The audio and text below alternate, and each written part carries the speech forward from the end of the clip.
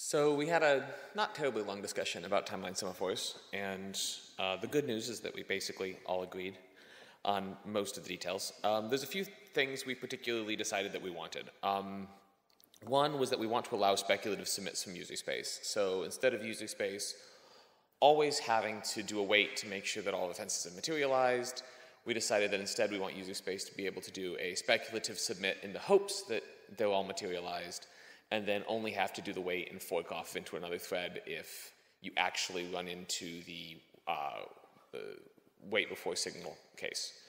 Uh, and along with that, so that means that exec has to be able to check and return the error value, and we decided that exec should return something better than negative e in val.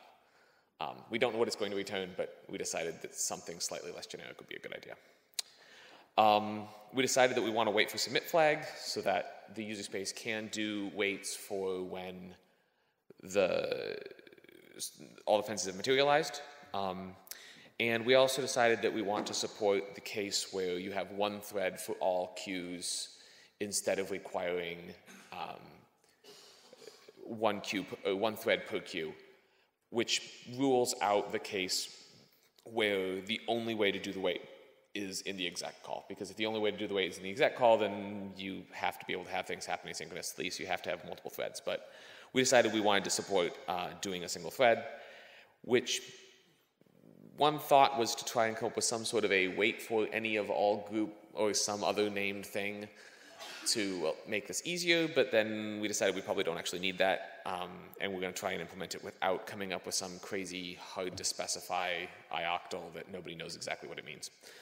Um, we also decided uh, that it might be useful to, to add some sort of a way of returning all finished sync objects from wait for any. Currently, we just return one that we know finished, um, but we decided it's probably not worth it. Um, we all agreed on most of it, hooray! Uh, so hopefully we can get stuff implemented, and I don't know that we're going to be shipping anything by end of year, but we can probably get uh, pretty close.